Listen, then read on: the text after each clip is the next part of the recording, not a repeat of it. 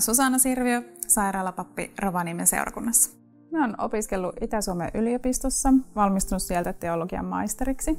Sain vihkimyksen Tornion seurakuntaan ja sitten on ollut Kemijärven seurakunnassa ja opiskelin seksuaalineuvojaksi Peräpohjala opistossa.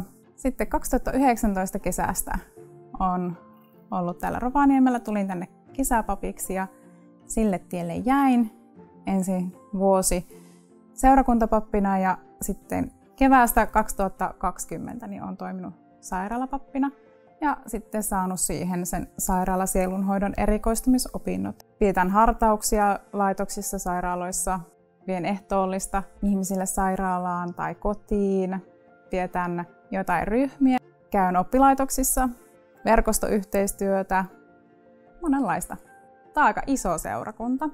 Täällä on paljon työntekijöitä, paljon monenlaista osaamista. Vaikka minäkin teen aika yksinäistä työtä, ei ole ikinä sellainen olo, että tekisi töitä yksin. Täällä panostetaan niin työntekijöiden hyvinvointiin. Se on tosi iso asia ja merkittävää ja on myös mahdollista edetä uralla.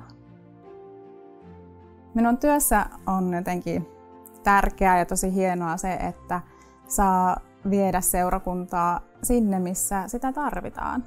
Sitä aikaa, mitä meillä on annettavana ja niitä kohtaamisia, niin arvostetaan. Ja sitä toivoa, mitä me voidaan pitää esillä. Ja me tehdään just sitä työtä, mikä on siinä evankeliumin ytimessä.